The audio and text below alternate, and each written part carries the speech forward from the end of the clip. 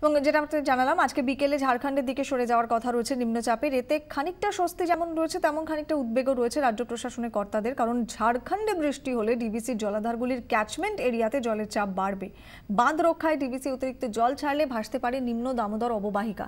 আপৎকালীন পরিস্থিতির কথা ভেবে কয়েকদিন ধরেই একটু একটু করে জল ছেড়ে রাখছে ডিবিসি। রবিবার চুয়ান্ন হাজার কিউসেক হারে জল ছাড়া হয়েছে। পঞ্চাশ হাজার কিউসেক হারের বেশি জল ছাড়া হলেই পরিস্থিতির দিকে নজর রাখে প্রশাসন। যদিও এক লক্ষ কিউসেকের বেশি জল ছাড়লেই বানভাসী পরিস্থিতির সৃষ্টি হয় বলে জানাচ্ছেন ডিবিসি কর্তারা।